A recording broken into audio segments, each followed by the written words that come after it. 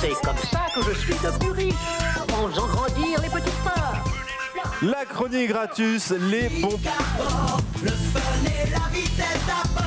Ça grésille un peu, mais c'est pas mal. Suite à vos retours, vous avez été nombreux à me demander comment j'ai trouvé euh, l'hôtel, euh, la voiture ou encore euh, l'avion quand je vous ai parlé de comment je suis partie en vacances. Ouais. En fait, je vous ai parlé de comment économiser une fois qu'on était sur place, mais c'est vrai que je ne pensais pas que vous alliez être intéressé par comment j'ai trouvé ces vacances à seulement 400 euros pendant une semaine dans un 4 étoiles. Du coup, je vous ai fait un schéma type.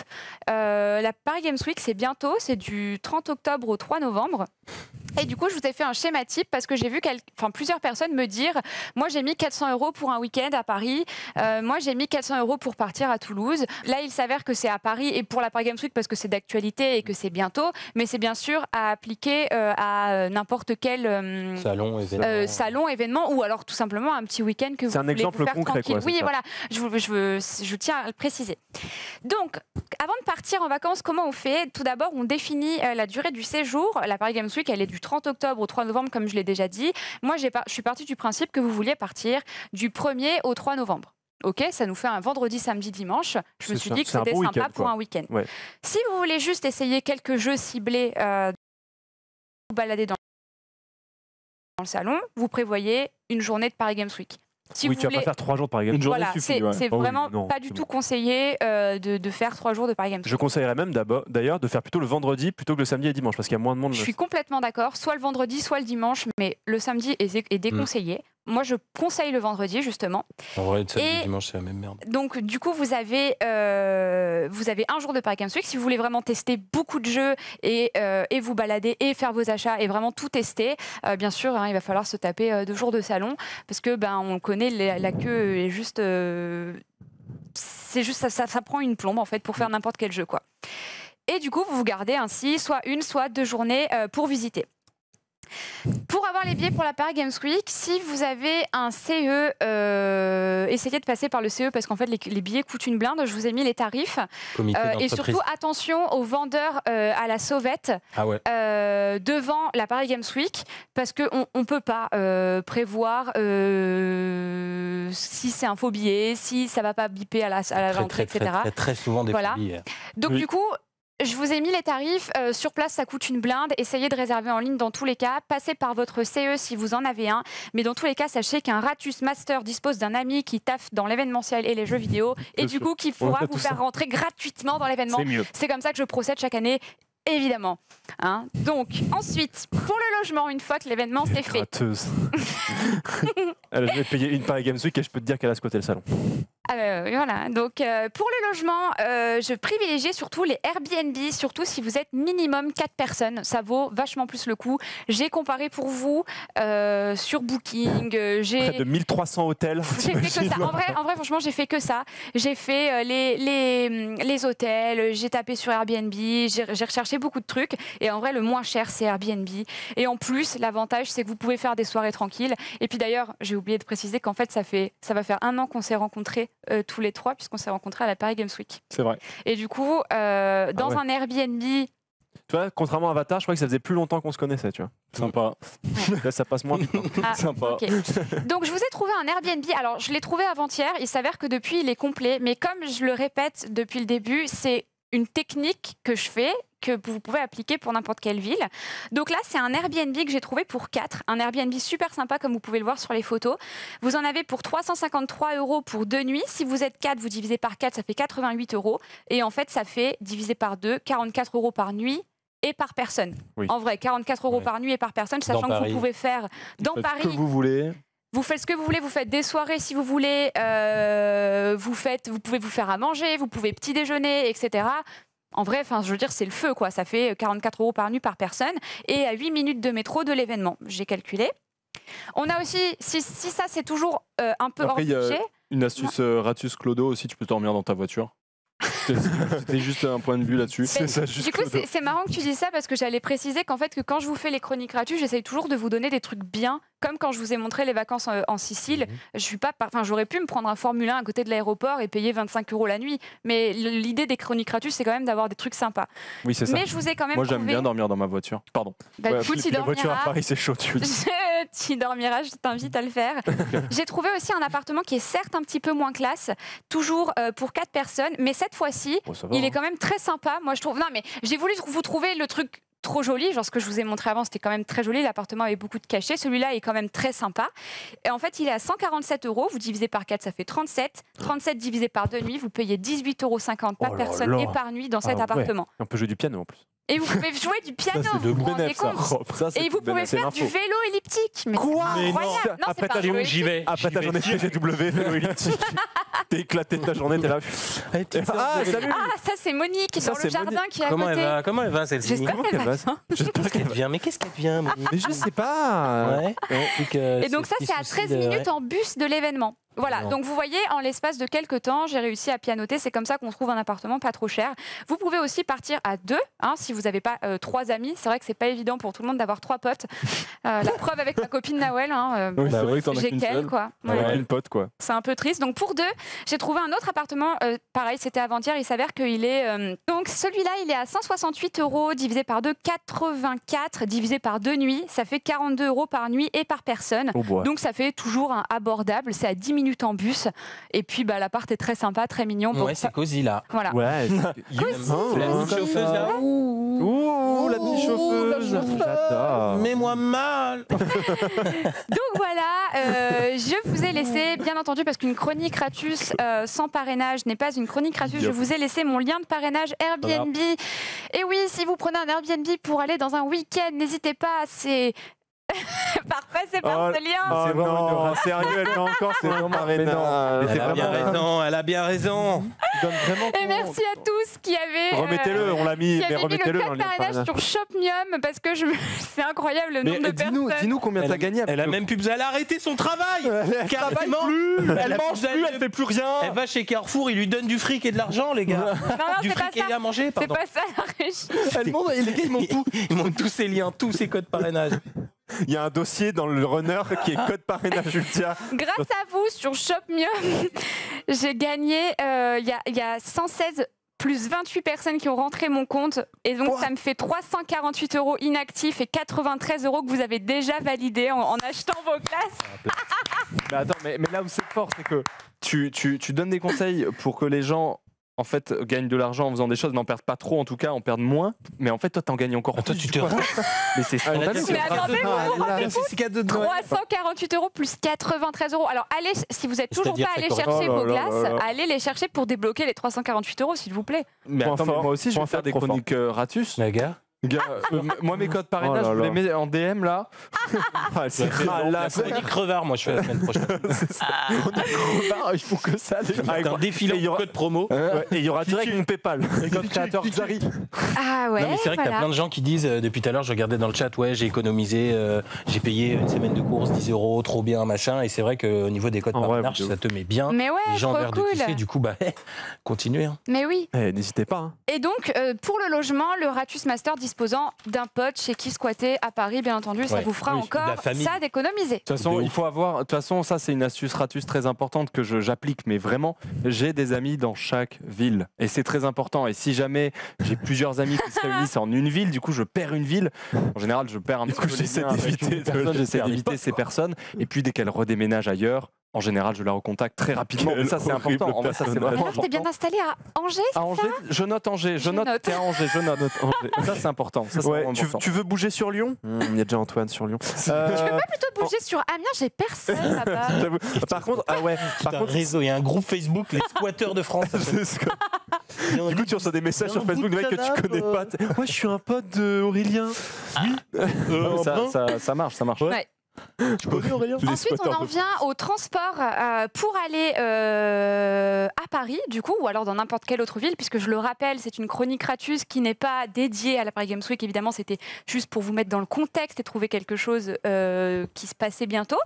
J'espère qu'en fait, vous avez déjà votre trajet hein, pour la Paris Games Week, parce qu'en fait, c'est trop tard. hein. Pour avoir les prix réduits, j'ai essayé de tout faire. Ah bah oui. Il n'y a pas moyen, c'est trop tard. D'autant plus que c'est une semaine de vacances, du coup, il faut vraiment s'y prendre à l'avance.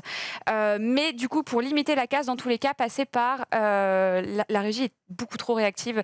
Passer par Blablacar, euh, Wigo euh, ou alors les bus type Flixbus, Webus. Personnellement, j'ai jamais testé et j'en veux pas parce que je trouve que ça dure trop longtemps. Ah, moi j'ai déjà testé. Moi, j'ai Ah, il y a une pub. Ah, moi tu sais Flixbus Alors, il y a une toute petite pub, donc on va juste attendre que. Bah, la justement, je vais parler très vite. Oui, vas-y. Flixbus. Oui, vas-y, vas-y, vas-y. Moi, moi, Flixbus, je l'ai je l'ai pris très, très, très, mais vraiment très souvent pour faire des Berlin, euh, même Paris, euh, Ouais. des. Berlin. Enfin, j'ai fait des trajets gigalongs en Flixbus et, euh, et bah c'est, enfin, en fait, c'est juste que c'est un bus, quoi. C'est Moi, je trouve c'est que tout. A- euh, Mais après, le, le J'en service en entends- lui-même. Ah, Ouais, j'en entends pas Bah, que du bien. Moi, j'ai jamais eu, moi, j'ai jamais eu de problème au niveau du service Flixbus Moi, pour j'en en avoir entends vu. beaucoup de mal. J'en ai pris une dizaine de fois facilement. Ouais. Et Ça s'est oui, bien alors- passé, quoi. bah, bah oui, t'es dans un bus pendant euh, des fois euh, genre euh, 27 heures. Ouais, c'est assez, c'est pour ça que c'est assez immonde. Mais c'est mais- pour ça que tu, que tu payes pas cher aussi, quoi. Mais c'est but, ouais, moi c'est ça. Moi je me faisais, des- j'ai peur, de- j'ai peur de dire une, co- une connerie, mais il y a quelques années, je faisais des, des euh, genre euh, euh, Berlin-Paris ou même des Berlin-Marseille, j'ai pu faire, et ça me coûtait genre des trucs comme 14 balles. Enfin, tu vois, genre. Ouais, mais moi je trouve que l'éco. Bah, du coup, voilà, euh, c'est peut-être parce que. euh, voilà, mais je trouve que l'économie d'énergie que tu fais pour le confort que tu perds, euh, personnellement, il me convient pas, quoi. Je suis malade en voiture, euh, donc je suis malade en bus. Euh, le bus, au final, euh, bon, peu chiant, euh, toi. ça coûte. Tu dois s'arrêter toutes les deux heures. relou, en fait. C'est. Non, mais je trouve que c'est relou, quoi. Après, Après, oui, il y a- personnellement, je suis adepte de Blablacar. En tant que Oui. conducteur, c'est le mieux, je trouve. je suis Voyageur, euh, voilà. Tu te fais- Passer te par fais Blablacar et passer par DriveMe. Et Blablacar. Comme Ah ça, oui, vous louez la voiture à 1 Oh euro là là là là. et vous faites le Blablacar Fort. en tant que conducteur. Tu vous Attendez. braquez une banque à l'arrivée et là vous sortez. non, Et là, vous êtes, et là, vous êtes royal. Royal. Voilà. Et donc d'ailleurs, euh, Wigo, j'en parlerai juste après dans les bons plans. euh, c'est toujours pas mal pour avoir un train euh, pas trop cher. Euh, voilà. Et Ah ouais. euh, pour l'avion, moi je passe par le comparateur Google parce que vous savez que les compagnies aériennes payent les comparateurs pour que leur vol sorte en premier. Mhm. Je trouve que bon alors il y a forcément du sponsor aussi, mais je trouve que le comparateur de Google est assez impartial. J'ai donné le lien à la régie, il me semble. Euh, voilà. Donc là, comme je vous l'ai dit, hein, c'est trop tard. hein, ça, c'est quand même cher parce que Ouais, ça va être 100 100 euros aller, 100 euros retour. Ouais. Mais du coup, essayez de vous y prendre à l'avance vraiment. Mais dans tous les cas, si vous voulez faire un week-end, passez par le comparateur Google parce qu'il scanne les autres comparateurs ainsi que les prix du web. Et c'est par là que vous allez mieux vous en sortir. Moi, je sais que pour l'Italie, c'est ce que j'ai fait. Et j'ai pris un aller d'une compagnie, un retour d'une autre parce que justement, il y avait un aller à 25 euros, l'autre à 100. Enfin, c'était Et est-ce que tu conseillerais aux gens de, de quand ils voient le prix sur un comparateur comme celui-là, ensuite aller sur le site Oui. pour payer et pas de directement cliquer Oui. sur le, le truc du comparateur quoi. Oui, et attention d'ailleurs parce que avec les compagnies aériennes, il y a ce qu'on appelle du yield management. Et en fait, euh, peut-être que vous connaissez, Moi mais en pas. gros, si vous êtes plusieurs à aller checker les, les, les- les horaires d'un train, d'un avion, les prix s'enflamment. Et du coup, euh, il faut faire très attention. Je sais que pour partir en Italie, ma cousine regardait en même temps que moi parce qu'on réservait à deux les billets. Et du coup, les prix s'enflammaient. Je lui dis arrête, sors d'ici. Laisse-moi toute seule, j'irai à une heure creuse. Donc n'y allez pas entre midi et deux, n'y allez pas le soir après le travail. Allez, allez, allez- ça, que non, non, non. Et toujours le Ratus Master disposant d'un ami euh, qui possède lui-même une compagnie aérienne afin d'y aller en jet privé, Dans le cockpit directement. dans le cockpit directement, Ouais, pas con. tout chousse, On y direction pense. la Paris Games Week. D'ailleurs, en parlant de transport en commun, si vous avez envie de prendre le train pour Noël, les billets de train sont sortis, les billets de train de la période de Noël sont sortis il y a moins de, il y a 5 jours je crois un Bah, c'est marrant, j'en parle dans les bons plans justement. Ouais. Donc là, Bah ça veut écoute, je te laisserai en. euh, Non, parce, que, parce moi j'ai beaucoup utilisé le, train- le train, Euh, j'ai des abonnements chez SNCF donc du coup je suis plutôt au courant de ça. J'avoue le reste je m'en bats les reins, juste ça je sais, mais si t'es dans les bons plans, vas-y. Je te laisserai plus tard en parler. Donc voilà, euh, une fois sur place euh, dans la Paris Games Week, euh, là on retourne un peu dans le contexte de la Paris Games Week évidemment, aucun achat de bouffe à l'intérieur. Ah oui, C'est non, ça, ça c'est le basique, ça c'est le C'est- basique. Mais j'ai un c'est- petit creux. Pas de petits creux, c'est hors de prix, c'est dégueulasse. Prévoyez votre pique-nique s'il vous plaît. On se sou... Je ne sais pas si vous vous souvenez de cette magnifique image qui a été prise à une Japan Expo. Euh, Le menu manga, baguette, jambon, fromage, plus cookies, Le Plus menu poisson. manga Pour un jambon fromage. Eh pour ouais. cette merde. Ah ouais. Bah, moi, je vais en prendre deux. Je vais vous prendre. va- je vais Non, prendre- en vrai, S'il vous plaît, prévoyez votre pique-nique. Mais je Et veux te dire, il y un a petit pas peu de pire. lubrifiant avec ça ou c'est comment quand tu Non, mais surtout tu que ça s'appelle menu manga, frère. C'est un jambon beurre avec un coca et un ça. Ça, s'appelle le menu manga. Il se, il s'est. Il n'y a rien de manga Ah là-dedans. délire. Cette photo avait buzzé à l'époque. En vrai, elle est énorme. Euh, et, et à la Paris Games Week, c'est la même chose que la Japan. C'est c'est de la merde. Juste n'achetez pas à manger là-bas. C'est dégueulasse. Et puis le pain est c'est hein. hors de prix. Enfin, je veux dire, euh, mais n'achetez rien, quoi. isotherme avec. l'otaku s'attendait à une- un superbe ramen euh, Pour 10 balles. avec une boisson thé, euh, thé vert. Mais alors là, euh, Le menu manga, Dégoûté, ce sera un parisien avec une boisson américaine et un, et un cookie. C'est en plus cher que chez Paul encore. Écoutez-vous. Ah, déjà que Jack Paul, Ouais, c'est non, non, dégueulasse. c'est clair. Faites pas Du coup, voilà, prévoyez votre pique-nique. Pour tester les jeux vidéo, Ah. parce que c'est bien entendu de base, euh, c'est fait pour ça, le Paris Games Week, repérer les stands les plus visités. Euh, en ce moment, on a Sony, Microsoft, euh, récemment hein. Nintendo aussi qui commence à avoir beaucoup d'affluence sur ces stands. Il y a l'attente qui est inévitable, forcément. Mais si vous y allez aux heures creuses, par exemple à l'ouverture ou entre midi et deux, vous pouvez avoir un peu plus de chance, même si c'est pas gagné, j'avoue, chaque année, il y a de plus en plus de visiteurs et donc plus en Est-ce plus qu'il y a de des monde. stands que toi tu repères régulièrement? Il n'y a pas trop de monde et qui sont en général cool à visiter? Moi, j'adore les stands de, de Made in France, des jeux Made in France. L'année dernière, euh, j'ai travaillé à la Paris Games Week pendant trois jours. J'ai hosté le stand Jeux Made in France qui regroupe des Chez nous, développeurs hein? indépendants français avec, avec d'autres personnes. J'étais pas toute seule. On était plusieurs. Et, euh, et on, a, on a hosté tous ensemble euh, sur, sur, cette, euh, sur ce stand. Et c'est des jeux indés français avec des développeurs qui ont beaucoup d'amour à donner dans leurs jeux et qui Mm. sont très intéressants. Là, il n'y a pas beaucoup de monde et vous pouvez y aller. Euh, Les C'est jeux vrai. sont C'est incroyables. plutôt agréable. T'es plutôt bien C'est accueilli. très euh, le agréable, c'est est très cool. intéressant de parler avec eux. C'est pas juste, euh, bon, j'ai rien contre eux, hein, mais c'est pas juste une hôtesse qui arrive, qui te fait jouer et tu pars. Et une Mm. fois que tu as joué à Oui, ta démo, contact, Là, il discute avec toi, il va te dire, euh, ben voilà, moi j'ai voulu créer, moi j'ai souvenir d'un très beau jeu développé par Arte euh, sur la créature Frankenstein et euh, l'auteur qui est une femme. D'ailleurs, l'auteur du livre Frankenstein, c'est une femme. Ah. Et du coup, il y a un jeu, un dé, qui, qui explique euh, comment la créature a été créée, etc. Et en vrai, franchement, parler avec euh, la développeuse de ce jeu euh, de chez Arte, c'était juste trop bien. Donc, ensuite, je vous conseille de, bien entendu, chasser les goodies gratuits. Parce que les éditeurs font la distribution de porte-clés, peluches, posters, t-shirts et même parfois des petites figurines. N'hésitez pas à frapper votre voisin pour avoir un bracelet. Mais surtout. juste, mais frappez-les, passez dessus, je, je m'en fous, mais récupérez les goodies. J'ai trouvé un site web en tapant genre euh, Goodies Paris Games Week 2018 et en fait il y a un mec qui a fait un, qui a un blog et chaque année il va à la Paris Games Week et il met tous les goodies qu'il a eu gratuitement en photo. C'est énorme. J'ai trouvé ça, euh, c'est mon une sorte moi de spirituel. Ouais, alors franchement, c'était épique. Et en fait, du coup, il dit alors, ça, c'est un tour de cou euh, Kingdom Hearts que j'ai eu sur le stand. Kingdom Hearts en Bah ouais, du coup. Kingdom Hearts. du coup, vraiment, mais s'il vous plaît, allez faire ça. Ah allez ouais, récupérer des stylos, des carnets, euh, tout ce que vous strates, il y a voulez. plein de strates. Euh, moi, je, 'fin, je sais que l'année dernière, j'étais sur le stand Rogue avec toi, Rivenzi.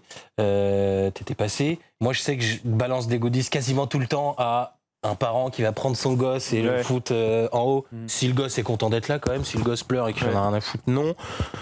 Je sais pas, moi, cette année, si on est sur des stands et qu'on entend des AV les cartons, on va balancer des trucs. Voilà, il y a C'est plein de mort. petites astuces. C'est C'est mort. Encore moins. Et, euh, tu Des tasses. Des On a- on a fait, euh, Des tasses, oh mon dieu. Ah, Tu t'en- rattrape, rattrape.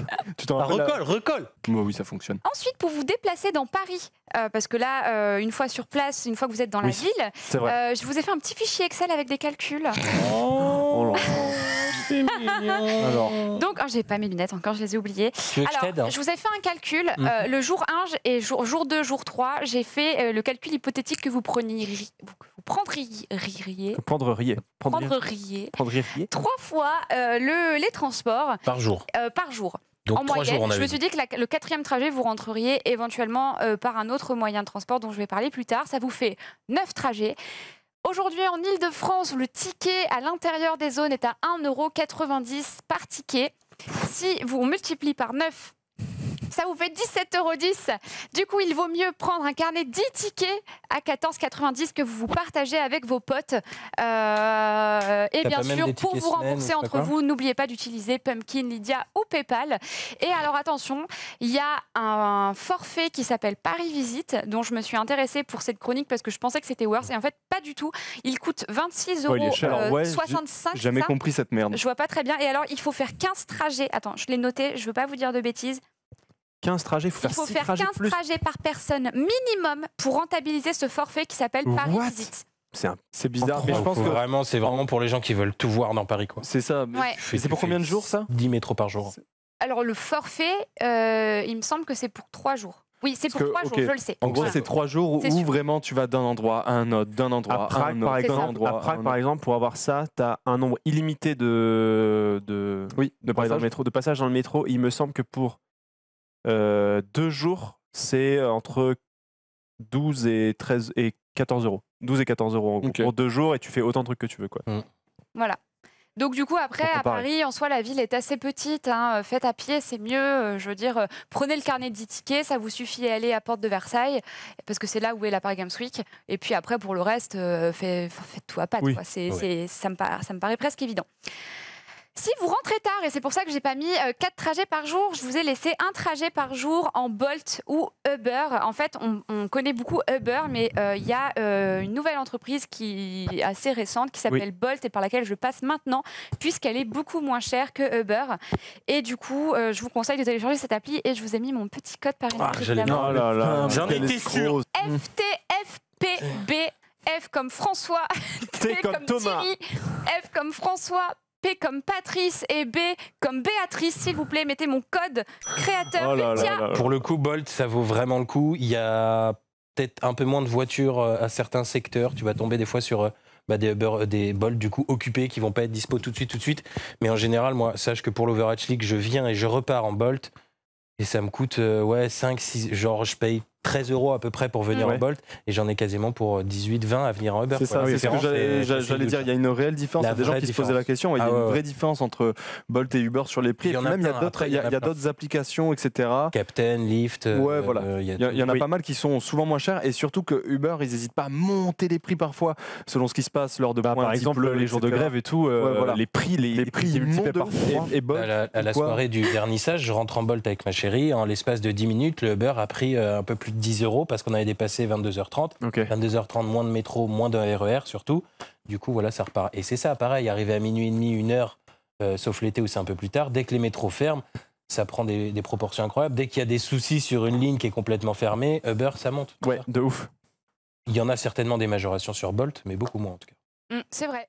Et puis enfin, euh, le dernier aspect euh, de, de- de quand on part en week-end, l'aspect que je trouve le plus sympa, c'est trouver les adresses sympas dans la ville dans laquelle vous allez. Mais non. Euh, vous pouvez passer par euh, TripAdvisor, qui est dans tous les cas un peu la référence en termes de bonnes adresses, mais n'y donnez pas non plus euh, tout- enfin, totale croyance. Je veux dire, euh, Ah faites-vous aussi votre propre avis, Ouais, bien clair, entendu. Ouf. Et dans les grandes villes, toujours, je suis désolée, c'est vrai, euh, il y a euh, des petits euh, comités qui se forment pour donner les bonnes adresses un peu typiques. Typiquement à Paris, il y a ce qu'on appelle Paris Zigzag. J'ai oublié de mettre le lien dans le runner, je suis, je suis vraiment infâme.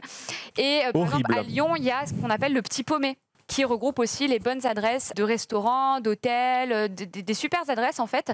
Et du coup, euh, le Petit Paumé, Paris Zigzag pour Paris, j'imagine qu'il y en a plein pour Ouais, je d'autres me grandes rappelle d'un. villes. Même moi qui hein. habitais à Toulouse le temps de mes études, je me servais remis au début de de la ce chronique. livre. Voilà. Parce qu'en vrai, il y avait clairement masse de bonnes Comment adresses, de bonnes infos. Je sais plus comment ça s'appelle à Toulouse. Si vous Zigozag Non. Zigozag Ah, non, à. Toulouse, il y a le Petit. Tout, c'est ça? C'est ça, le petit tout, exactement. C'est ça. Ok. Merci. Il y a Lucas du coup, le réel derrière. Le petit tout exactement. Et Parce que moi je viens de Toulouse. Exactement. Même si vous, parce que je sais que c'est difficile des fois, par exemple, quand c'est ton premier job ou quand tu vas faire des études dans une ville où t'es jamais allé, etc. Ça c'est Paris zigzag. Eh Ça, ben, c'est Paris tu- Zigzag, ouais. Ouais, tu te procures ce, ce truc-là et en fait, ça te donne plein d'adresses où sortir, où manger, où Mais rencontrer du monde, où faire des choses. Des et bonnes parfois, affaires, des events. Ouais, parfois ça fait, ça, ça fait grave du bien d'avoir un truc comme ça pour trouver des, des- des trucs à faire dans une ville Bah que ouais, tu de connais ouf. pas du tout. Ah mais c'est sûr. hein. Moi tu vois je connaissais pas. Moi je cherchais des trucs à aller faire à Paris et Ah, tout. bah là, savais alors pas là, c'est par ce site que j'ai trouvé. C'est vrai. L'accès à la culture, c'est important. C'est par ce site que j'ai trouvé une balade super insolite à Montmartre, euh, que j'ai emmené mon papa là-bas, ma cousine et tout. Et en vrai, c'est ça, ça évite les touristes, c'est très typique. Moi, je trouve ça vraiment adorable aussi. Sors des sentiers battus, quoi. Ouais, voilà, c'est ça. Et aussi, euh, concernant la nourriture et, euh, et les bars, j'ai créé euh, une map sur Google Maps Mais non. sur laquelle je note toutes mes bonnes adresses. Oh, c'est à toi ça? Ça, c'est à moi, ouais. Mais Adresse what the fuck? Donc ça c'est sur Paris. Du coup Mais je, je note rêve. Je note absolument. Alors l'étoile, c'est parce que c'est là où j'ai envie d'aller, là voilà. Mais du coup, il y a quelques Oh là là là quelques là adresses sympas, des restaurants, des salons de thé, des fast-food Oh. et aussi des balades. Vous voyez les trajets en bleu, c'est des balades que j'aime bien faire ou que j'aimerais faire, notamment la balade qui, voilà, la balade à Montmartre, c'est Ah ouais. celle-ci, il me semble. Euh, Plus fort que Paris Zigzag, on a tien quoi. Ouais, voilà. Donc, euh, donc, du coup, euh, euh, moi j'ai des adresses très sympas. Je pense notam- notamment au restaurant de la, de la franchise Big Mama. Je pense à la Pizzeria Popolare et c'est un restaurant italien avec des pizzas authentiques. La margarita est à 10 euros. Les serveurs sont adorables. Le, le cadre est magnifique. Je veux vraiment, il y a des, Tu y a combien des adresses. Tu la vends Mais si vous voulez l'adresse à cette carte, moi je peux vous la partager, mais je sais pas comment. Sur, Bah, je sur sais quoi pas je si vous avez vous la un- Non, partager. Normalement, il doit y Je sais avoir pas un comment ça lien. marche, quoi. ma Et je, je- personnalité. je sais que tu peux partager. Bah. Arthur? Oui, alors nous, on peut essayer de le faire du coup. Oui, dans le chat. Bah, du coup, voilà, essayez de partager euh, Oui. le lien de cette carte euh, si vous voulez mes bonnes adresses. Il me semble que de tout- dans tous les cas, c'est juste une carte que vous pouvez consulter et je peux, euh, et je peux partager d'autres adresses un peu partout, même à Lyon si vous voulez ou à Nice parce que bah, c'est les deux villes que les trois Oh villes en tout que j'ai fait. Donc, euh, donc voilà, co- comme je le précise Incroyable. plusieurs fois, c'est pas le Ratus qui veut à tout prix gratter des sous non plus. C'est aussi T'as un code promo Google Maps toi ou pas? Non, c'est aussi passer des bons moments et, et faire et faire et faire des trucs sympas. Sans ruiner, quoi. Sans, Sans se ruiner. ruiner, en fait, c'est surtout ça. Par exemple, la, la pizzeria dont je vous parlais, euh, les, les, les- Popolare. Comment elle abuse La pizzeria La- que je vous disais la pour pas un pizzeria popolare italien. que je vous- dont je vous parlais, elle est, euh, elle- je veux dire, la pizza la, la plus chère, elle est à 14 euros, je crois. Euh, Enfin, vraiment, euh, les yeux fermés. Il y a des adresses. On, on pense que, que Paris c'est hyper cher, mais il y a des adresses euh, hyper met dans le chat, tu peux faire pareil avec Guingamp D'accord. Pareil, Il y a de un France, s'il te resto. plaît. Il y a un resto à Guingamp, on a, Pareil. on a que. Beaucoup Bah écoute, ça va être très pratique parce que du coup, c'est vrai que t'aimes bien, euh, toi, planifier et tout ça quand Oui. tu fais des trucs comme ça. Sinon, on fait des lives pour le Récap Weekend parce qu'on avait envie de partir, par exemple, euh, au marché de Noël et tout ça à Strasbourg pour le Récap Weekend avec Ouais. un backpack. Ouais, Ce serait elle cool que tu, les ouais, toi, astuces tu- sur ce serait place. cool que tu nous fasses des astuces Ouais, sur place et pas tout de ça. problème. Euh, je Genre, vois, va je vois euh, 14 euros euh, pas cher. Alors la pizza la plus chère, je vous parle de la pizza fruits de mer qui encore se trouve à 18 balles. Là, elle est à 14 On est à- euros. C'est à Et Paris, c'est hein. une vraie pizza napolitaine. Je sais pas si vous en avez déjà mangé, mais alors c'est pas euh, la pizza de merde. Moi, je suis hyper compliquée pour les oh, pizzas. respecte nos pizzas. Ouais, ça Donc, va, euh, là, donc, l'élitistes, euh, là. Vous critiquez pas les pizzas napolitaines, hein, c'est les meilleures pizzas du monde. Gueule, Donc, euh, voilà. C'est les meilleures pizzas du monde, en fait. Je dis ça très 14 simplement. euros la pizza fruits de mer, euh, non, je suis désolée, c'est pas cher parce que sinon vous avez En jamais plein acheté de Paris, fruits de mer. on En plein Paris, dans un cadre adorable. je un sais rein. pas si vous avez déjà acheté des fruits de mer, mais ça coûte une blinde. Donc une pizza fruits de mer, bah, ça coûte un peu cher. Ah, ça coûte super cher les fruits de mer, ça c'est sûr. Oh oui. Voilà, pas et, donné. euh, et puis personnellement, je bouffe pas de la merde, j'essaye de manger des trucs bons. Excuse-nous. Excuse-nous, oh là là, peu on n'est pas dans même en bouffe, Ça va là? Eh ben merci beaucoup, c'était la chronique gratuite du coup spécial euh, eh bien vacances, Spécial week Ratus en ouais week-end. spécial euh, Ratus euh, Weekend avec voilà. en plus la PSW comme ça il y avait un cas euh, un cas pratique tout de suite un qui était max de appliqué code promo. et un max Oui. de code promo. On vous le rappelle, n'hésitez pas à les utiliser. Donc merci beaucoup pour cette chronique euh, Ratus.